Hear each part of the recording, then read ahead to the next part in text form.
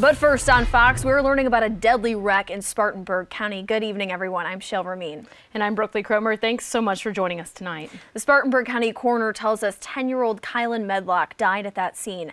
Highway Patrol tells us the crash happened on Little Mountain Road.